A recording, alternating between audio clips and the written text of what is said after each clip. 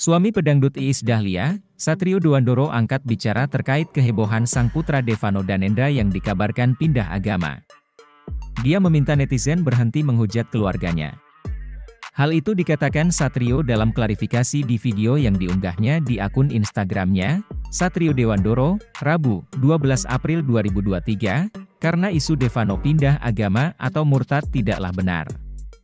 Namun, efek negatif yang dirinya, Is Dahlia dan keluarga besar alami sangat menyakitkan. Satrio mengatakan Devano dan seluruh keluarga mereka masihlah sebagai penganut agama Islam dan tidak ada yang murtad. Pria yang berprofesi sebagai pilot ini mengingatkan netizen, mereka punya keluarga besar yang harus dijaga hati dan perasaannya di tengah isu murtad yang bergulir cepat. Assalamualaikum warahmatullahi wabarakatuh.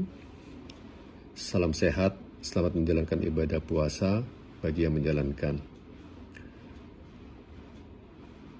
Di media sosial ini, Papa atas nama pribadi dan juga Isda Family ingin mengungkapkan rasa ketidaknyamanan atas pemberitaan di media sosial dan hujatan dari netizen kepada kami, khususnya kepada Pak Iis, Kakak Salsa, dan juga Devano,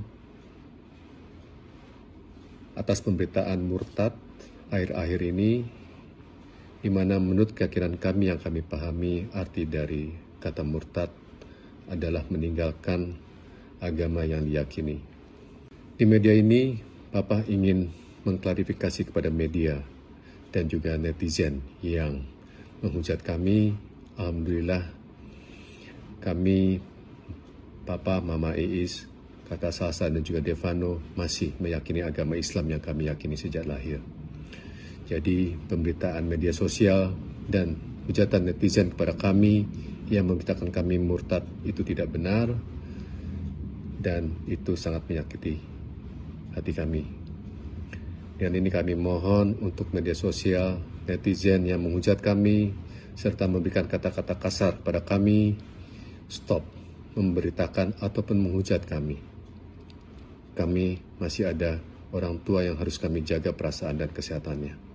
Kami manusia biasa, berikan kesempatan kami untuk bahagia, berkarya seperti Anda, bijak dalam berperilaku dan juga ucapan, serta bekerja sesuai kami yang kami jalankan dan dapat membagian orang tua kami yang masih ada maupun yang sudah wafat. Salam sehat untuk Anda dan selamat menjalankan ibadah puasa bagi yang menjalankan.